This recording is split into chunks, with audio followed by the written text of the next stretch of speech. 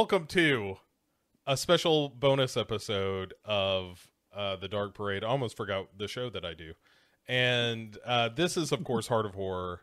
And uh, fortunately, I am not alone. And with me, as ever, the the lovely, the talented, the ethereal, the pixie-ish. So impish. Yeah, the impish, Kate Pollock. Uh, puck, yeah, like a, a Shakespearean puckish Yeah. nature. Being that I am from from England and whatnot. Yeah, blame not this gentle puck. Mm-hmm. Is that the line? Maybe. I don't know. I make a lot of stuff up. I don't know, I haven't done it since I was like 17, so Yeah. a long time ago.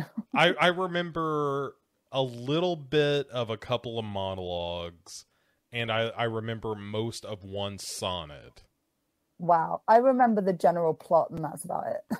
Yeah. Well, I, I, I sonnet one twelve is the one I remember because it's it's a panty dropper. Uh, oh, care to recite? Yeah, uh it's let me not to the marriage of true minds admit impediments, love's not love which alters when alteration finds or bends with the remover to remove.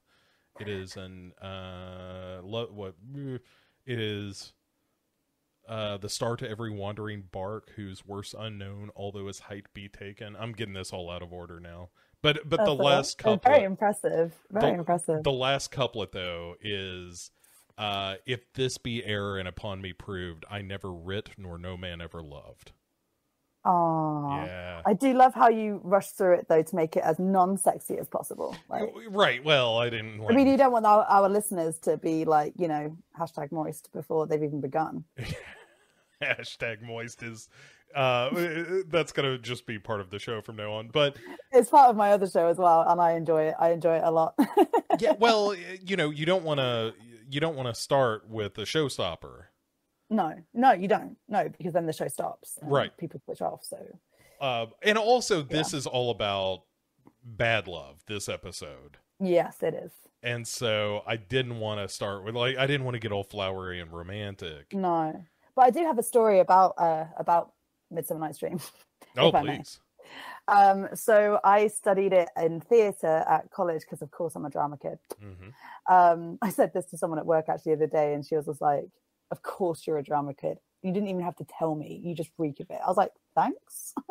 um, but anyway, uh, so we did Midsummer Night's Dream, and we did that scene where um, fucking ah fuck me, what's the what's the fucking donkey guy called? Caliban? No, the fucking guy gets turned into a fucking donkey. Oh, uh, keep going. I'll tell you. ah fuck i can't remember um anyway that guy um and uh then the spell gets put on titania to like fall in love with the donkey guy. And um she's all coming on to him and shit and he's just all like oh hey baby but also kind of terrified. I think is that right? Yeah something like that. Uh, anyway. Nick Bottom, by the way. yeah that's it. Um and uh anyway my drama teacher he was a he was a character. I still don't know to this day whether or not he was actually a pervert or whether Mhm. he just had the air of one. He kind of remind me of reminds me of uh, Rich Fulcher um from like the mighty boosh and stuff. Uh huh. that's rich yeah it's Rich Fulcher right? That's his name. Yes. Um and um anyway so he got me and some other girl in our class to do this scene and he just made it so fucking explicit. Like we were right up in each other like not literally but almost. And like we had to and i had to i was playing titania and i had to like seduce her. And um you know like writhe and all of this kind of stuff and it was just so fucking uncomfortable because the girl that he picked fucking we couldn't stand each other but yeah I, i've always kind of like had a suspect i like a suspect suspicion sorry of like huh was that entirely professional Right. He was taking that home with him. mm-hmm mm-hmm yeah slotting it in the wank bank right. I'm about to make these two chicks kiss.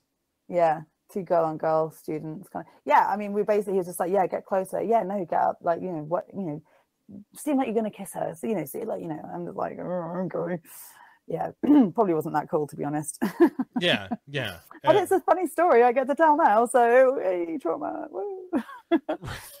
no, it wasn't that bad, but yeah, it was just it was made just more awkward because the fact I just really couldn't stand this girl. Yeah, uh, I mean, you're you're supposed to have chemistry, I suppose. Yeah, I mean, I'm a Uh. really good actress, so I think I pulled it off. You know, you know. All all humility aside, yeah, I know. I, she says humbly, you, you you're putting the asses in the seats. literally, because you know. bottom. Oh yeah, sure, because Nick Bottom Yeah. turns into an ass. Yeah, exactly. Nice. Full Uh, circle. we're professionals, podcasting professionals. Don't even worry about it. You're in safe hands, listeners. Mhm. Um, I mean, kind of. I mean, not really. Right. Like we're gonna inevitably some raw shit is gonna be said. Um, yep, yep. it, it, I guess I should. I never do this, but if you've never listened to Heart of Horror before, it's us talking about a movie that's got an element of romance or love or Mhm. sex in it, and then we're gonna do some real talk about love and romance and sex. And Yeah. this time around, we are talking about, uh, in particular, the kind of relationship you have where you're just into a person that you know is not good for you and to uh, encapsulate that in a cinematic form, Yeah. we have chosen a movie that launched uh, a thousand erections, and that's oh my god, seriously? Seriously, seriously? dude. Return of the Living Dead three is Dude. one of those movies. I will say this up front: this is not a good movie. Oh, it's, that's a fucking awful movie, but it's oh, it's something though, isn't it? but it definitely has a kink factor to it. that- oh, I'm sorry, but this is more kink factor than fucking Hellraiser, in my opinion. oh, for sure. Yeah, yeah, yeah. You know, like people talk about how you know there's all those fucking memes with Hellraiser, like you know they had the Fifty Shades kind of play off, where it's just like let me show you to my playroom, and then it was like her fucking amateurs and whatever. And you got the Cenobites and shit. So I always feel like Hellraiser is like the kind of the pinnacle for like BDSM horror. hmm This blows it out of the fucking water. Hellraiser has the vibe, like it it talks the talk. This is a movie Mhm. that walks the walk. Oh yeah, Where- like I love Hellraiser. Don't get me fucking wrong, but Oh, this sure. one, damn. Yeah. Uh it's it's it's something. But yeah, this is We'll one of those those movies that when you mention it to people, they're like, "Oh, yeah, right." The Mhm. the the zombie with all the piercings and stuff. Got it. Right. Yeah, that is Yeah. that is locked into. Speaking of the spank bank, that is that's in the spank Mhm. vault. I took a video of that scene and sent it to this guy I'm sleeping with, hmm um, because yeah, we both enjoyed that scene. Sure. Yeah. he he's never seen the film, but um, oh, by the way, a quick FYI, I broke up with my partner. It's not a thing. Um, but yeah, so um, I sent it to him, and I was just like, "Watch this." he was just like, "Oh fucking hell!" It's yeah, it's a real something. But um yeah, it is. so I you know I feel I feel like I've made a living off of dating people that were bad for me. that's that was that's sort of my vibe you know Le- less so the past few years like i've made better decisions for myself even even the I'm relationships not that sure I have. I'm really not sure that I have. Mm, well you know Personal growth is still a concept that I'm struggling with, but I guess you know I'm a, a, a little bit younger. Maybe I've still got time to catch up. yeah look i you know it took me into my 40s Oh well, I got six years of carnage yet, so yeah right just lay waste leave bodies Oh, behind you smoking wreckage all of it. But yeah it, it truly wasn't until my 40s and, and you know hours and hours of therapy that it was like oh okay well i don't have to date people that will make me feel like a piece of shit. Okay got it. Right. and uh but but i did that a lot or the and the other the other twist in that and you know we'll get more specific as we go on I'm but sure. the other side of that is not just like oh i'm gonna date somebody that's gonna make me feel bad about myself or the other one is i'm gonna date someone that is so fundamentally broken oh themselves Oh my god, yes, that's my fucking buzz card. That's Yeah. my fucking buzz card. I am I and I don't fucking mean to. I don't mean I don't know what it is, but I just attract people who are fucked up Well- somehow or have had fucked up experiences. And I don't know why, but I just fucking attract it. And you know what? there are certain benefits to it sometimes. Not gonna lie. Are, are we just leaning into the like having sex with crazy people can be fun? Yeah. mhm, Yeah. mhm, yeah, it really can. It Well, is. y- Sure, that's that's true.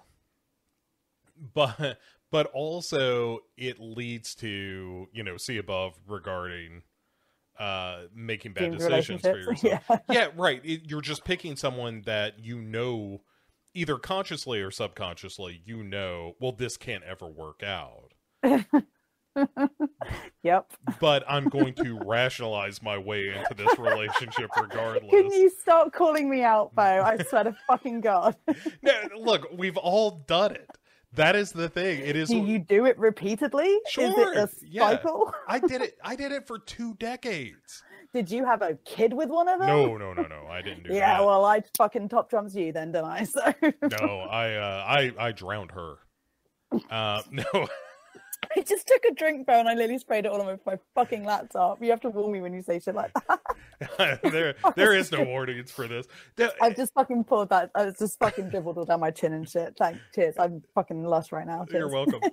Uh, I meant, oh boy, that's that's what I meant to do. I meant to get a beer before we started, and I didn't. Oh, go get a beer. Go get yourself a fucking beer. I've got a gin and tonic. It's beautiful. Ah, I'll be fine. Um, okay. Yeah, yeah, because then I like it's bad enough that we say what we do on this show. All I need because I don't drink enough. so like one beer is the equivalent of six beers for a regular person. Uh, Sometimes I need a drink for this show, Well, yeah, yeah, yeah. Um, I should. so I don't get all cagey. uh, you've been holding back. Is it just the the drinking that? I know I've drunk on some episodes, and those are the episodes where I listen back and I'm like, oh yeah, that's right, I said that, didn't I? Sure, the Mento Yeah. story. Um, Oh, oh, I've got a, I've got a fucking firecracker for you guys later. Like, yeah, That's- listeners, pre-warning, buckle up. You think the Mentos story was bad? This is gonna fucking give you nightmares. So you know, tune in for that later. Uh, yeah, Bo doesn't know what it is either, so yeah. you guys are gonna come on this ride with me down to hell. yeah, I'm excited about this, but um, yeah. So you know, in the context of the movie, we'll we'll start with with that.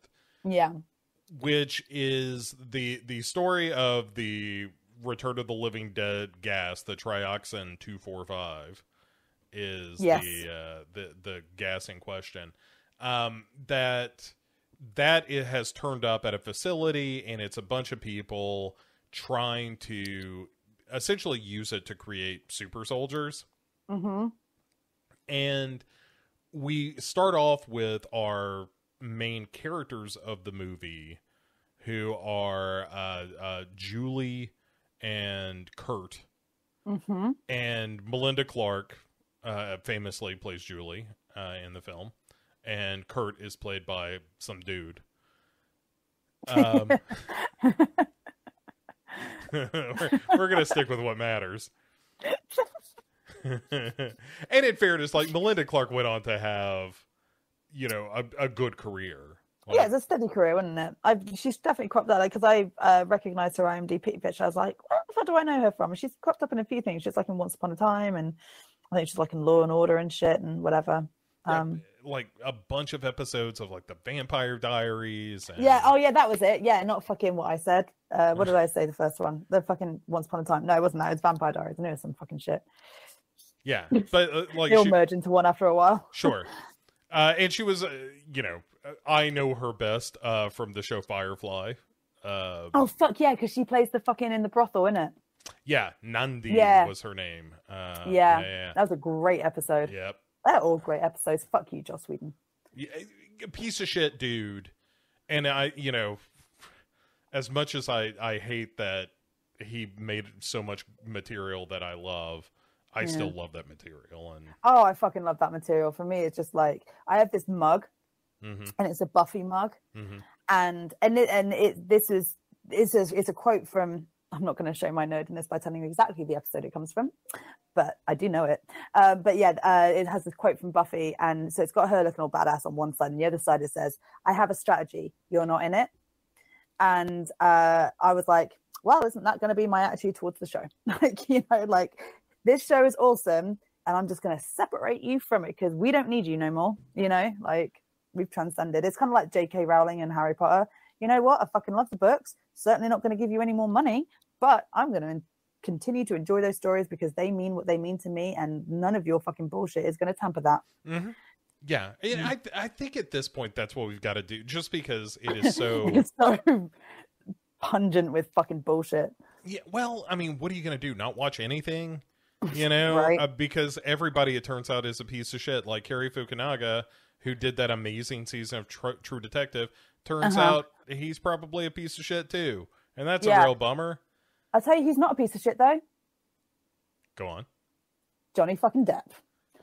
Yes. I don't know anything about this. Oh, don't even get me on this. I've been watching the whole fucking thing. I've been following it for a couple of years. Like I've been listening to the audios. I've been like a fucking. I've been like the asshole who watched Unsolved Murders who thinks they could probably fucking solve it just by Mhm. watching the Netflix documentary. But like for realsies and like.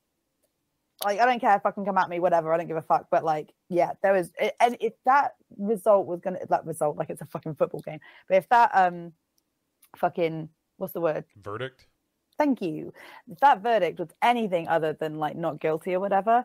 Like um i would have di- literally just lost faith because the amount of fucking evidence. Sure he is not perfect. And yeah sure he has said some things that is you know on paper not the best and like you know whatever. But like in terms of like real crime and in terms of real abuse and manipulation like the amount of overwhelming evidence that not only disproves that he is an abuser, but also proves that she is an actual fact the abuser is just overwhelming. And like, oh yeah. Anyway, but Johnny Depp is a fucking awesome, slightly dark sense of humor. You don't want to read his text when he's mad, um, kind of thing. But aside from that, he is not an abuser and he's fucking great. All right, I will take your word for it. I've I've kind of made my line in the sand, being like, I don't need to know anything about this. I don't know these people.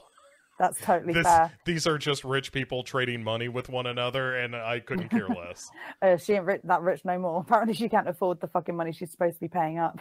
Oh, and well. she's appealing it. But um, but yeah, but I'm just really happy that Pirates of the Caribbean is not tainted. um, what were we saying before that? Oh, Oh, we were saying about how um Joss Whedon's a dick, and then we Yeah. were talking about how um fucking shit. What were we talking oh, about? we were talking about the movie. Okay, so okay, yeah, this all started yeah th- this all started with trying to describe how this movie starts so you've got Yes. kurt and his girlfriend julie and they're kind of hanging out on the beach and the first indication that julie is probably a little fucked up is you see her doing uh the bit where she's like holding uh her hand over a a, a lighter yeah, you know getting it's off not on the hot paint or anything. It's not hot at all or anything. the, when I think about that, I think about the movie uh, All the President's Men, where oh, I haven't seen that. I need to watch that. I want to watch it. oh, it's so good. Anyway, Mm. uh, but, but they they talk about how G. Gordon Liddy, one of the in, you know kind of political enforcers for Nixon, would do that at parties Oh right, okay. and, just be a weirdo. And so when I see somebody doing that, I'm like, oh yeah, like G. Gordon Liddy, and then I have to explain who G. Gordon Liddy is. right, yeah, yeah. I appreciate the context. You're uh, look even people who live in this country don't remember G. Gordon Liddy anymore. But but he it, like it's too young even for me. That happened before I was born. Oh but- wow, okay. yeah. Oh yeah, because Nixon, right? So, Right. yeah. So anyway, um, but Julie is a little you know cuckoo. Uh, I think is the scientific Mm-hmm. I mean, term. all you have to do is look at her hair and know that. you think that the hair, the kind of blown back. The blown back, bright red, fucking wild. I mean, I'm not criticizing. Mhm, I am here for that hair. sure. Um, but it does it does give an indication of the kind of person that she is because that is not natural. She's chosen that hair, and so I feel like you need to take a fucking note. Well, and she's going for that uh very difficult punk goth, goth crossover look. Yeah, it's like a biker Mm-hmm. thing. Yeah. yeah, and he actually has a bike, doesn't he? So that works. right, but he doesn't dress as hardcore as she does. No, You but let's be honest, we know who the boss is in this relationship. oh, a hundred percent. Like he is, he is a moped guy in a motorcycle relationship. Oh, is that not a fucking good analogy? Absolutely. You know, he is hanging on for his dear life. Like he Yeah. knows what he's got his arms around, and it is just he's just trying not to get bucked off. Yeah, hundred percent. And he, but he's hundred percent here for that ride, even if it does, you know, throw him off. Oh yeah, yeah. Oh, he rides it all the way to hell. That's for sure. I hear it's a good ride though, so Yeah, crazy. Um, but the, you know, and this gets to the real world stuff. But that is the relationship that we've all had, though, at least once, if not multiple times, because it's a mistake that's real easy to make. Of Yeah. like, this person is interesting, they're really different, the sex is great. then We you have just feel alive. right, we have almost nothing in common. I'm doing everything in my power just to try to keep them interested. I'm not getting anything fulfilling out of this relationship other than the sex, and the rest of the time it's a whole hell of a lot of work. yeah. mm-hmm. So, uh, I mean, but but uh, I don't know if it's immaturity that leads us into those relationships, or if it's just that that's just how most relationships are, where you're just trying to make that square go into the round hole. Mm. And I don't mean the sex part, but yeah, I mean, to, for me, okay, so like, I know this isn't just like this scenario, but for me, this is a real easy thing for me to fall into because where I do have ADHD, I tend to hyperfixate on people mhm. And I'm very impulsive. Mm. And I tend not to think about myself in terms of putting myself first when the id factor is so great, you know? Mhm. um like i don't really make rational thought when it comes to my id factor taking over so for me um it's like i'll have like i guess if we're going with id factor analogies got my super ego going mm, well you know really should you be doing this because uh, they're a little bit like this and you know this isn't going to end well and like you know whatever and then i've got my id factor like just stomping on my super ego going no fuck you orgasms are great fucking go with it kate you know like Yeah, right. and I'm just like, oh my god, yeah, like whoa. um, so Yeah. uh, yeah, I, I tend to make this mistake a lot, and uh, the the the bad part is is when it flips and the guy then actually ends up falling in love with me, and then I think I've fallen in love with them, and then it's like, oh yeah, five years later or whatever, it's like, oh no, maybe they're not the right person for me, and maybe actually this is really toxic, and actually maybe maybe I should get out of this. you know. Yeah, I don't know that I've had one go years like this. Yeah, I get that. I also had ones that are more short lived, but um, what can I say? I'm fucking charismatic and charming. So mm, No argument here. But I my my thing is though cuz I'm I'm pretty I I'm self-absorbed a lot of times and or you could argue it's self-reflective whatever. But I think about the decisions I've made a lot and, you know, where I am in life and blah blah blah. Mm-hmm. And so those relationships, the thing that will surface pretty quickly for me is this sense of like, oh, I'm pushing this rock up the hill. You know, that Right, I'm yeah. I'm Mhm. constantly the one that's you know, it, it's like uh the old Looney Tunes cartoon with the Sure, big yeah. bulldog and the little dog that's like, "Hey, we're friends, aren't we, Spike? Huh, Spike, aren't we?" And I can Oh. find my I, I feel myself getting trapped into that you know we're pals right spike kind of kind of thing only Yeah. instead of hey we're pals it's like the sex is great isn't it spike we can we can do it all the time we don't have to talk about anything or our feelings or mutually support one another or anything right yeah, and but at a certain point i'm like oh wait i'm not i'm not getting anything out of this other that- other than the yeah. sex which I is think great that's the thing. Is like it's whether like you want anything more than just the sex or not. Like yeah yeah you know, like I mean, if you're like, you know, all I want is sex, and I just want to have fun, and that's cool, then it's fine, you know. And I feel like those situations are a lot easier because you can be open about like how you're feeling and stuff, and you can have that communication. And you know because you know that whatever you're going to say you're probably you know because you're not following like your emotions you're not like you know falling for anyone you can kind of be like a little bit more sort of open. And then if it gets to a point where you are feeling something then like hopefully you're in a position where you feel like you can say it's when it's when you you are emotionally invested and you know that the other person isn't and you're just trying to keep up and um, you're just trying not to do anything. You're kind of walking on eggshells because you don't want to say or do anything that like lets them in that you maybe have caught some feelings and stuff. And then mm-hmm. and then that's when you start like having the whole yeah no this is great we're cool right? We're cool cool cool. Yeah like we're still friends we're good we're good you know like uh, because you need that reassurance because you're so fucking terrified of losing whatever it is that you've got going on that you will just do anything to keep hold of that person. And then that's when it's it's toxic. And then that's when it's kind of like you know julian kurt. Yeah.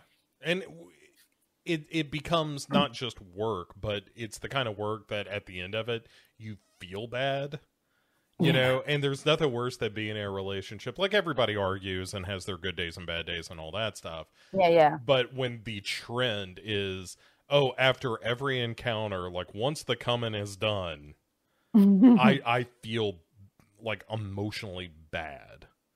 You know, like yeah. I, I, feel I feel insecure or I feel uh dismissed by the other person. That's yeah. a big one where they're just like, okay, well, we're like you said, it's where that the emotion for one person turns on and the other one still yeah. like it's oh, like no. I've got what I needed and we're good now. You can go. Yeah, right. you kind of feel used and i mean like some people like that definitely not one of those people definitely not um, but like uh, but you know like you know if, if you know it's different if you are emotionally invested in stuff and then you sort of feel like you've been used a little bit and you kind of like you're in one place and the other person isn't in that place then yeah you feel fucking awful about it yeah it you know it goes back to when we talked about the movie spring that opening not opening scene but it, that early scene where he has sex with the girl that he calls up mm. on his mm. birthday and she's just like oh, yeah. you know what does this mean like you don't do you even like me yeah and you know it, it's uncomfortable but where kurt is in the movie is still in the the phase of like i am i am holding on with both hands. Yeah he's in the middle of the tornado. Oh no not in the middle because the middle's calm isn't it? But he's in he's in that tornado. Yeah. Mm-hmm. and so much so that he has stolen a security key from his pop who runs this, you know, secret zombie experiment. and so bring your bring yours on to work day, like can you imagine? yeah. Uh, so yeah, uh, she's very excited because she wants to break in, like a, a classic bad girl move. Like, hey, will you like piss off your family for my, you know, whimsy. Just yeah. my just entertainment. I don't even know what we're gonna see. I just want to break into a military installation. I want you to what. break federal fucking law. Right. For shits and gigs. Yeah. Because guess what? I'm really good at head. Yeah. right. You know, like it's just such it's such bullshit. But like as well, like for once as well, his dad is not an asshole because often when you see, especially when it's military types, often you see this trope of like the dad's a dickhead and stuff. And I don't know, maybe like he's supposed to be a dickhead, but as a parent, I'm like, no, no, fucking listen to your dad. Like he fucking knows. Like yeah, he's totally fine. He's just like he's totally he's just worried for his kid. Yeah, yeah. I mean, and this... he does everything for his kid. right. He, it looks like he's a single parent. yeah. Know? Going to work and... every day, just hoping like just don't do drugs. That's all I want. Yeah, just don't shack a fucking psychotic. Like, don't do drugs, and like, you know, just. I mean, I, I get, I, I mean, I get why Kurt's kind of all like resentful and shit because he moves around a lot, it seems, and you know, his dad's probably never really there because he's working a lot and stuff. But you know, where it counts, where it, like, well, I say where it counts, but like, you know, when it comes to like how he feels for his son, like, you know, his dad is is hundred percent there, and and we see this, uh, especially as the movie kind of like plays out, and it was just, it was really nice to see like this military tough guy type dad actually give a fuck about his kid because so often we, we don't. We see you know he doesn't give a shit and he fucking hits him and he's fucking he's an asshole. And so you can understand a lot more from the kid's perspective. But in this perspective like i was in this scenario i was just kind of like kurt come on. Like i mean i okay yeah i get it. I mean look at her jesus. But like but also though like mm, maybe listen to you got like a smidge, like a smidge, like just a little bit. Like maybe don't break into, you know, a high, highly secured fucking containment unit where you don't know what's happening, and then you know, well, fucking shit hits the fan, doesn't it? So I, I really like how in this movie even the actors are like, "Hey, it sure looks cheap around here," and they had to throw throw in a line where somebody's like, "Yeah, yeah, yeah. Well, you know, it's government funding and whatnot. We're trying to get Yeah. some, some money to make this place a little more secure." I forgot about that line, but yeah, that really made me chuckle. I love the self awareness. Just Yeah. oh, fucking Yeah, a, it's fucking a. uh, so this is just a shipping container. Yeah, just a shipping container is Yep, where we are. yep, you are right. but so the uh, Julie and Kurt sneak in and they see this experiment go down, which is them exposing uh, the military exposing a corpse to the the trioxin, which makes the zombie come back to life. Yeah, And of course, it just goes completely tits up right away. of course. Because you know, movies. Right, it, like the zombie, they they tried this gun that like freezes the brain when it Mm. breaks loose, but that doesn't work, and it just ends up biting more people who become zombies. And finally, they're just like, "All right, just strap everybody in there down and and kill them." Yeah, yeah. but No mercy. right. But meanwhile, there's a, a lady visiting, a lady military person who's like, "Well, this Oh, is isn't she a dick? yeah." She's like, "This is per well, you suck, Kurt's dad." But the the root of this is good because what we can do is put these zombies in these exoskeletons, so when they're not in battle, they can't move, and then we just drop them in to, you know, a military zone, let them Mhm. go nuts, and then when the you know the enemy is all dead and zombies, I suppose, then yeah, yeah. it's like you it's one of those plans that they've only thought through step two of Yeah, exactly. Yeah, there really is no sort of foresight on this.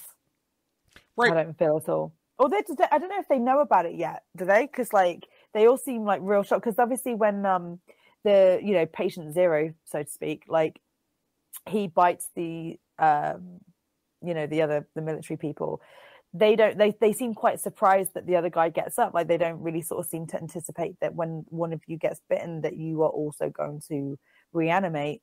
Um, so maybe they just didn't they weren't aware of it because presumably zombie law is not a thing in the in this world of this film. maybe So but- maybe they just weren't aware.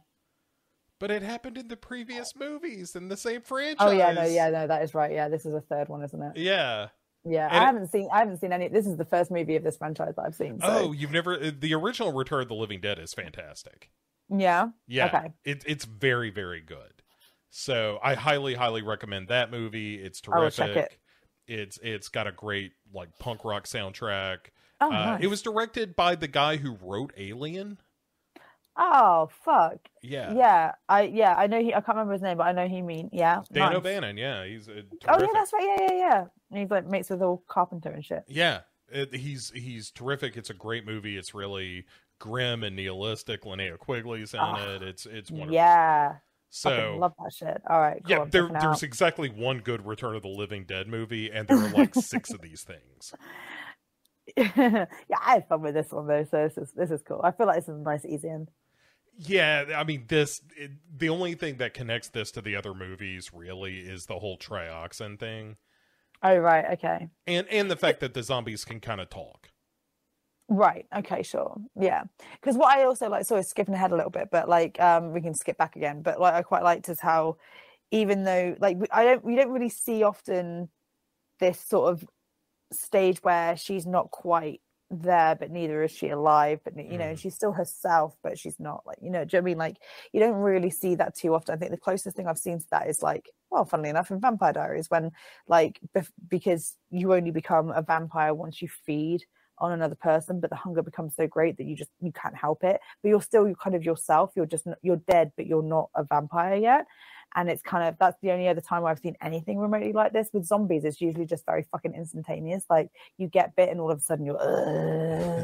You don't Right. retain any of like your old personality you don't you know you know you're not conscious particularly you're not you know you're not cohesive Um, so that was a really kind of like interesting idea for me. I thought that was kind of neat. Yeah, and there is some of that in the original Return of the Living Dead as well. so Mm, there's cool, there's a little bit of that too. But Nice. uh, but yet more so in this. This is very much that, that's kind of the arc of the movie. I was going to say, yeah, that's the yeah, that's the main kind of point. Yeah, it, it was a cool idea. I thought I'd, I'd say I hadn't really seen it much else. So Yeah, if if you just wrote down what Mm. this movie is on paper, it's probably okay as long as Mm. it's only a paragraph. Like the devil's just- in the details. In this yeah, one. yeah. I I'm I'm I'm, I'm gonna just out tell you, I had a fucking blast with this movie. Yeah, Um, I really did. It was just, it was so much fun. I had a kind of idea of what I was getting myself into in terms of like the overall vibe, and it did not disappoint. So I was just, yeah, I I had fun with this. I didn't go in expecting anything elevated or anything, and um, it, it yeah, I had a good time. I'd I'd hundred percent watch this again. This is great. ironically, that's how I preface uh, dates with me. It's just like, look, you need to have your expectations set. Don't expect anything great. Don't sell yourself short, Bo. You are a catch and a half, and honestly, you have great fucking game. You have great game. Don't sell yourself short, bud. in in fairness, I, I feel like this is also something I came to later. But yeah, I like at this point, I'm like, oh yeah, yeah, yeah. I, you know, to use a, a term I've already used, I can put the asses in, in the seats. Like there's Yeah, you can. there's uh there's some upside. I I'm I am a good date for sure. Nice. Like, I, um, I can see that hundred percent. you know like i'm very i'm very fun i'm very open to like you know hey if if we want to ditch original plan and go with a plan b then let's do Yeah. that and Yeah, yeah. um you know and once Oh. again just be be down with cunnilingus just be ready to make that happen Bo. Bo, bo, bo, bo, bo. Yeah, it's speaking my uh, language. it's a point of pride um oh, by the way, so the guy I'm sleeping with mhm, listens to the show, mhm. Um, and he very much enjoyed our discussion. yeah did he did he take some good 'Cause he lessons is- is he down for it no, no. Oh, uh, he don't. He doesn't need lessons, Oh, and great. he's just he's already in agreement with you. fantastic um here's here's I know what, he's going to listen back to this, and I'm just going to he's going to get like I know the conversation that we're going to have. here's one of those moments like that i find interesting from a human point of view and it's not something i think about necessarily in the moment but it's one of those things you think about later. But it's like when you're in one of those wonderful sex sessions that is going on for you know a couple of hours like you know you're going down on her she's going down on you then you're fucking and then there's maybe mm-hmm. some more oral sex and you know it's just you're it's just a big burrito of sex of all stripes when you stop and think about it for two seconds of like i don't even know what's in my mouth anymore. I've got so many like competing fluids. I don't even know what this taste is.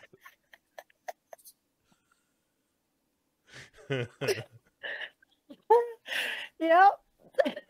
But I, I like to me that's that's where you're just like your most animal and human when you're in those moments of just like this is just you know sweat and lube and semen and like all of it's just all swirled together. Everybody's got it on mm-hmm. them.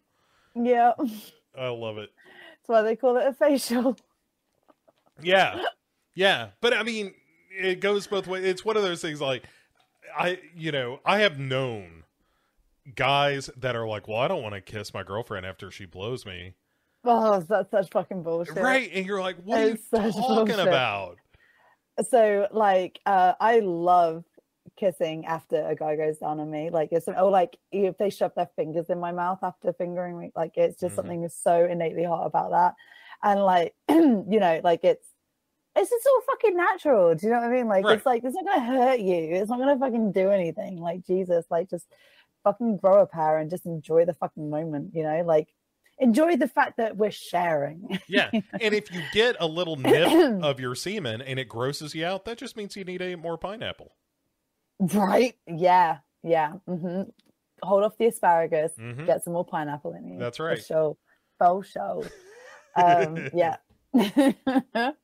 That's just good advice. Um, yeah, I think it is. Lol, sex is fun. Yeah. Oh my god, yeah. Um, Yeah. yeah. It, like if you're with the right sexual partner, like hmm you know, it's something we've talked about on this show before, but the having a partner that is both intellectually fun and somebody that you can laugh with, Yeah. and then also you're just like, I, j- oh my god, I want to fuck you. like that is just uh, uh, such a heavenly combination. yeah, it's really fucking great, right? Yeah, it's it, it, the absolute best.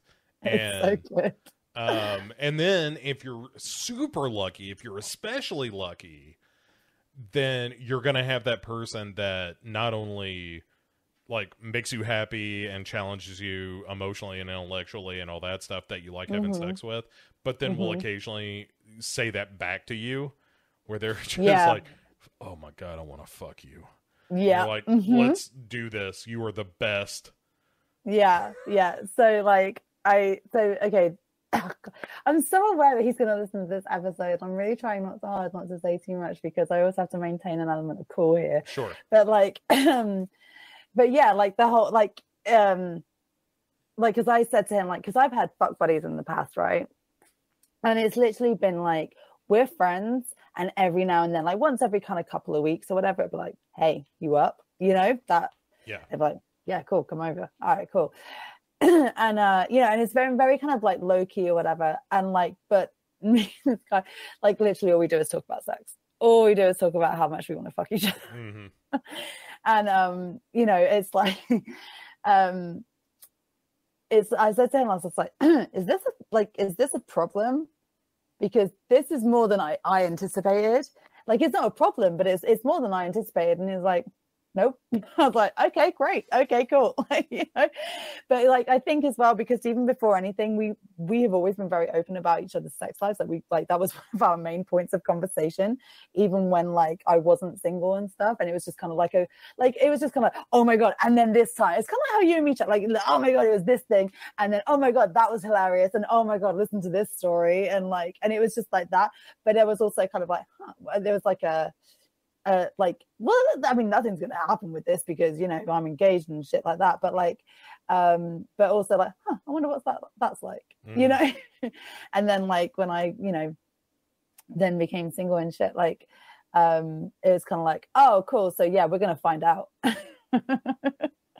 And i tell you what it's really fun. So um but yeah like as you say like when you have that kind of thing like of like you know you, in, you, you know intellectually like challenge each other and you have a lot of fun on like a friendship level and then you also can incorporate great sex it's just like it's just such a great combo for fucking sure yeah. and I think as long as you have that communication level open where you're both kind of very forward with each other in terms of like where you're at emotionally, like if emo- if there are any emotions involved or if they're not or whatever, then like you know that's that's pretty good. Like as long as you're on the same wavelength, you know. Absolutely. Um, and you know, it it you just have to like communication, as we have said a number of times, is the key Mhm. to all of this. Whether it's the emotional part or the sexual part, as long as Yeah. you know you're talking, then you know all relationships kind of end one of two ways, which is you you know you you break up or you stay together forever. Yeah. Yeah. so even if you break up, if you kind of do it on those terms, um, you know, that's Yeah. that, that's how my last breakup was. Was just like, you know, I it was a little bit of a surprise to be, but it was also like it it was outed just because we were talking, Yeah. and and it could have gone like it's one of those things that could have limped along for months longer, yeah. Yeah. and and I'm glad that it didn't. You know, Yeah. um, see that's my that's been my problem in the past i think is i've been so worried about like having like being open or i've just not been like with my with my ex-fiance like we just we I, I was terrible at communicating and i didn't feel like i could communicate and i felt like anytime i i tried to communicate anything that he'd get on the defensive and then he couldn't communicate with me because i'd get on the defensive and it was just a really like shit dead end of a like fucking lack of communication and in the end, we both just sort of stuck our head in the sand for so long that we ended up, you know, being together nearly eight years for Christ's sakes. I mean, in fact, over eight years. That's it's just fucking insane. So, like, you know, sort of henceforth, I'm always going to be very communicative, communicative, and um, and make sure that like, you know, that line of communication is open because I don't want to end up in a situation where either I feel trapped or I feel like I'm too deep or I feel like, you know, we're not on the same wavelength because, you know, bringing it back to this film, like that's seems to be kind of where Kurt and Julie are. Like he's very much in this whirlwind and she's kind of taking charge and she, you know, she probably knows how, how like caught up in this he, he is, but there's not that communication where all that, that sense of self-awareness where you kind of like maybe we should take a, like a like a put a little not necessarily a pause on it but let's just slow down a little bit. Let's just fucking chill or whatever which i think you know because he obviously he makes this very rash sort of decision that he's you know his dad says oh I'm, we need to move. We you know i've been i've been relocated and we need to move. You need to pack your bag and we're going off in basically a week. And he's like no fuck you. I'm staying because i love this girl and she's amazing and look at that hair and like right. you know and like and she just gave me a blowjob not half an hour ago. So fucking hell i'm all up in that. And like uh you know and and i feel like it you know and she seems very into it and whatever but like i feel like there's they're on a different they're not on, they're not playing they're not reading the same page and um you know and i think even without what happens happening like if that didn't happen i still feel like they would crash and burn just because i feel like there isn't that level of communication because he's just this puppy along for the ride you know? Yeah and um, she is emo as fuck. Yeah that and that punk emo. So she's not only emo but she has an edge. Yeah it's the real like you know, very dark, very nihilistic, very grim. Yeah. You know, yeah. obsessed with death. You know, that's kind of yeah. one of her things. In fact, you know, after or it's just before the scene that we were just talking about of like, you know, hey, we're about to move. Mm. Um, we have, you know, the I think it's the only sex scene of the movie. Yeah, yeah. I think we see her a little bit nude later, but like it's in terms of actual sex, yeah. Yeah, and but afterwards, like when they were laying in bed, he's like, "Oh my god, you were rocking my world." Yeah. And she's like, "That was. I wonder what that dead corpse was feeling when it came back to life." And he's like, "What are you talking about again? What is this?" Yeah. I was, I was just talking about how great it felt when my PP yeah, yeah. sneezed. Yeah, because she's like, that was incredible. And he's like, yeah, it was. Because he's talking about that. And she's just like, yeah, like she's just, she's not even in that moment. She's back at the fucking, you know, shipping container. Yeah. Um, you know, and he's all up in the moment and stuff. And he clearly has caught feelings and he's clearly in love with her. And she's all like, yeah, dead bodies. you know, cool, love. well, I'm not here to kink shame, whatever, but I feel like dead bodies is maybe a kink that is maybe crossing a line. Well, and you need to be with the guy that's also like, yeah, that dead body was rad, as opposed to this kid who's like, I'm sorry, what? The yeah. Are you, you're talking about the corpse, right? The one that came to life and ate a bunch of people. Yeah, yeah. You're you're sympathizing with that person. Yeah. Uh, all right. Um, yeah. I guess we're not going for that picnic tomorrow. I guess we're, you know, right. digging corpses. I probably I probably shouldn't give you this mixtape because there's a little a little more Ed Sheeran on it than I think you're going to be comfortable with. Fuck. that oh fuck that that was the wrong moment. I just took a sip of my drink and it not only did it go down the wrong way, but it made me choke. Oh, sorry. No, and now my throat hurts. That's all right. Don't be sorry for choking me. I wonder what it feels like to choke like that. exactly, exactly. I'm gonna sound a little bit hoarse though now. it's fine. but yeah, no, definitely. Um, yeah, we need some more kind of like disturbed on that shit and less Ed Sheeran. Yeah, for sure. Like, yeah, this is nothing but, you know. Uh, mostly female led death metal. Yeah. Is what mm-hmm. you need.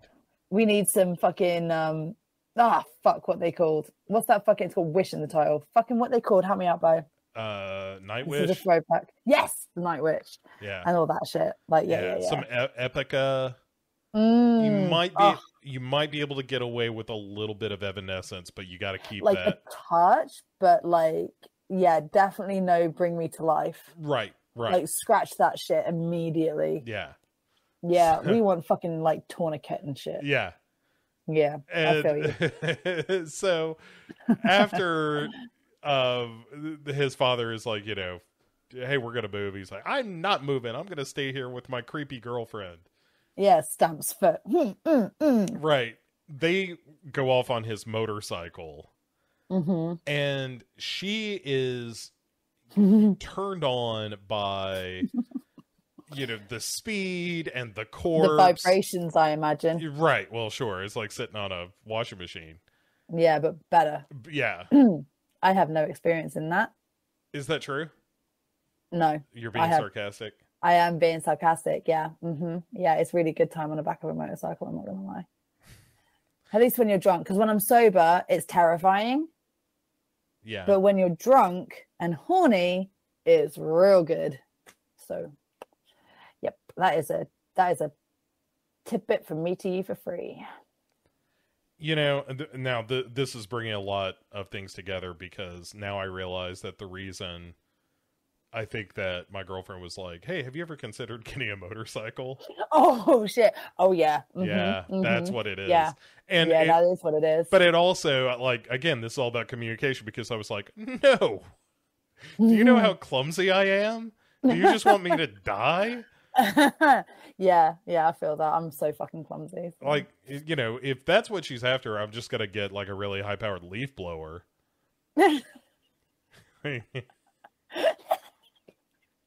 you sit on this, and I will pinch your nipples. just fucking sit in front of it, like right? Yeah, it's like yeah, it's like one of the uh, the shower massagers. oh, dude, I fucking broke my doxy wand earlier. I'm not gonna lie. Yeah, Yeah, I mean, I've I've had it for a good seven years. Yeah, seven years. Um, it's probably on its last leg anyway, but yeah, I it it it fucking fell apart. it's not the years; it's the mileage.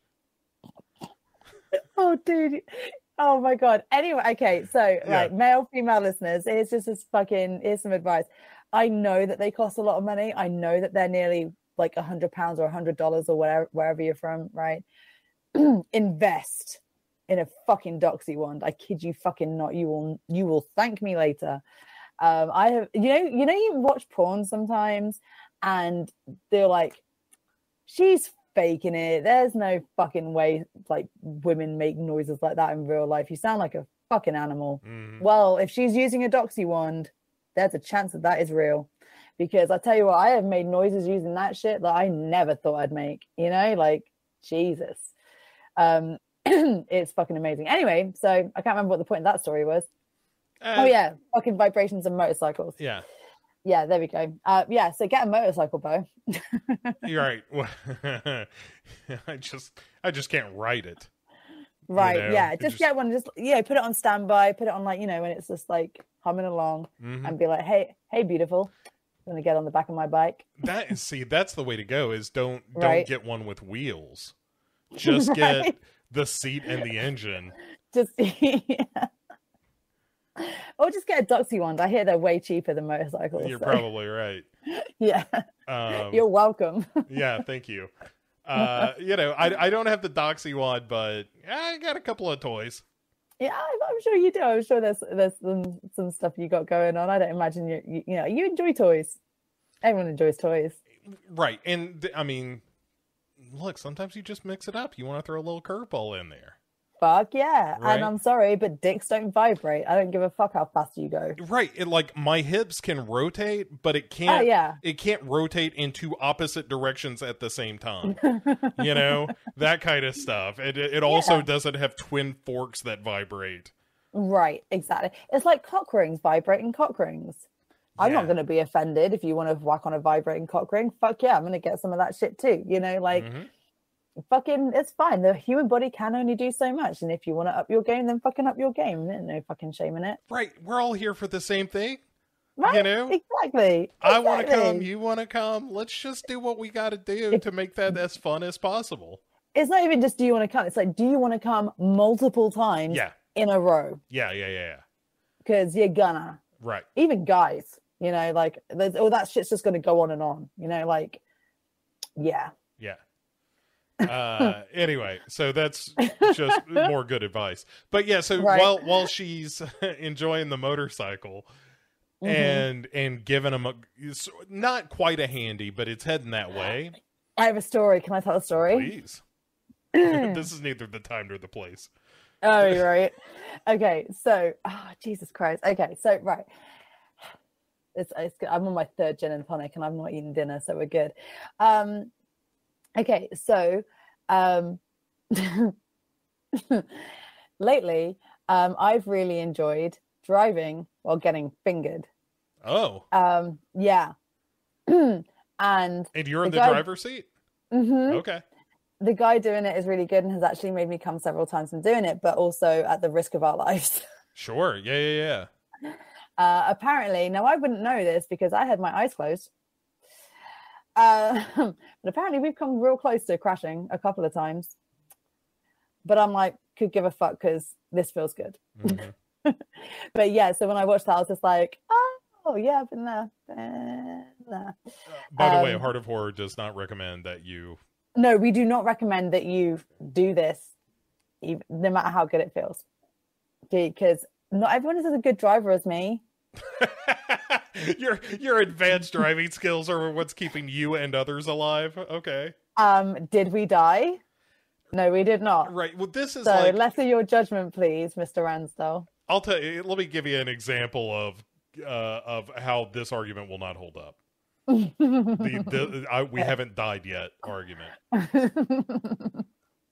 I was no one else died either, for the record. yeah right sure you know a couple of ricks behind you but that's back there Right. and I was having a conversation with my lady friend about how much I Mhm. like grape nuts as a cereal. What the fuck are grape nuts? do- oh, okay. So grape nuts are a cereal from like 1850 that is just nothing but like barley and grit and gravel. It, it is one of the least appe- appealing cereals in the history of cereals. It sounds disgusting. I'm not gonna lie. It sounds fucking just horrific. Google it while we're talking, and you, you can see what a grape Oh, nut looks like. I really kind of don't want to, but all right, fine. All right, but It's, it's the masochist in me. it is uh they used to advertise it no lie in like the 1920s and 30s no, shut up. where yeah where they would be like nut cereal. hey this will help you avoid like malaria and shit Oh, that doesn't actually look that bad. It looks just like granola. it, it that's kind of what it is but it, it's like there's not a ton of flavor and that kind of thing but i just This is why you layer it up with sugar and like apparently strawberries and blueberries all over it. Yeah. This is what the common theme seems to be. it i'll tell you where it's best is you throw a little bit of that into some yogurt Yes. and yeah, and yeah, it's yeah. it's quality for that. But I'm not above just eating a bowl of grape nuts. I'm look, I'm a simple man with simple needs. Hey, no, I I love a bit of granola and shit. Like I fucking love that shit. I had a bowl earlier, in fact. Uh, You ought to try some grape nuts. the The grape nut shortage is over now. It happened during the pandemic, but we're back on track, so you can get it in the stores. I Well, recommend. I don't trying know if I don't I don't think we have it here, I think it's illegal there. Uh, but probably for good reason. yeah, But um, feel free to send me a box, or when I, ooh, I have some time.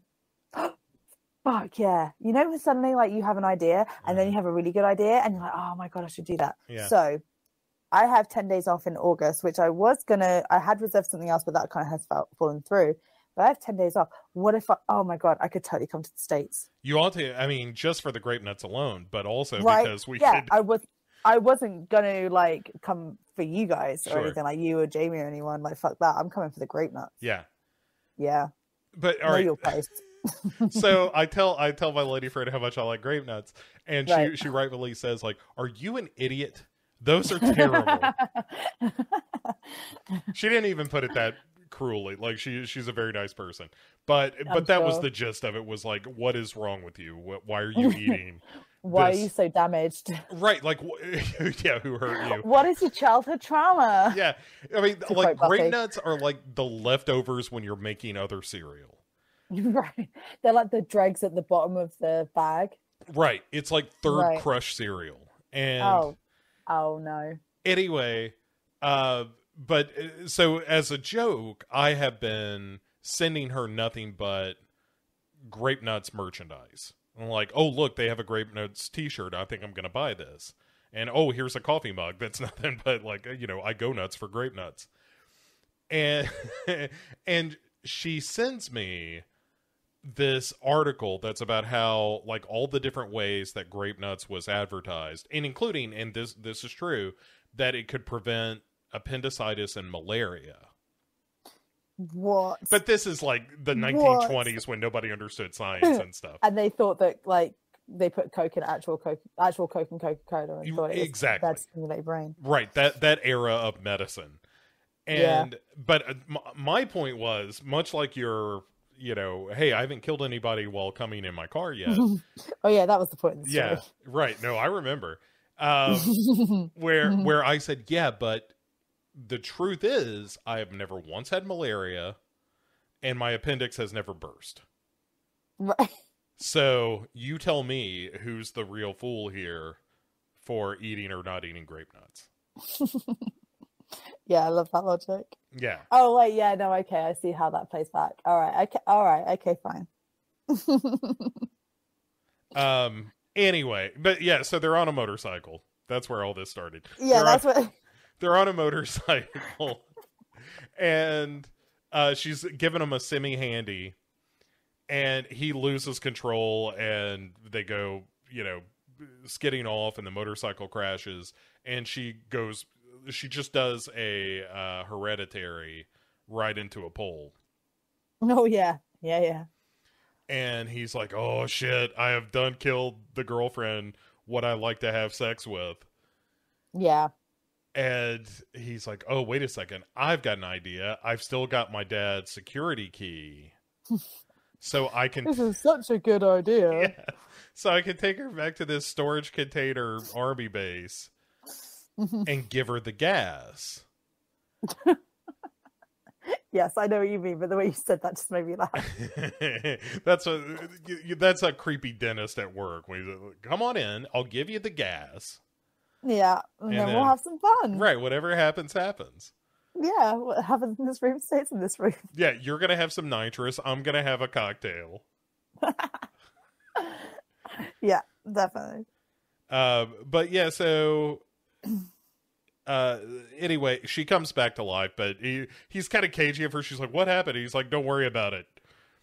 And we got to get out of here though, because while doing this, we have unleashed an extremely goofy zombie from this container Yeah. that's wandering about, causing trouble with his face, like you know, fused to his shoulder and whatnot. Yeah. Oh my god, the effects of the zombie are so fucking great. It's so good. I love it so much. It's Like his whole face comes off. Oh my god, it's so good. yeah it's it's real dumb but in a way that i i love it it, Mhm. it, it was a special note i made of how how positively adorable slash goofy this zombie is once his face pulls free yeah, yeah. um so they get out of there and they end up going to um a, a like a, a package store a, convenience store be- Yeah. because she's like i'm so hungry i haven't been this hungry and he's like hungry. how about we go get you some Twinkies? You know, that is such a fucking mood. You know, where your girl's just really fucking pissy and she just doesn't see. You know, that whole fucking Snickers advert where it's just like, oh, yeah, like you're not yourself when you're hungry and then you have a Snickers and then suddenly you're okay.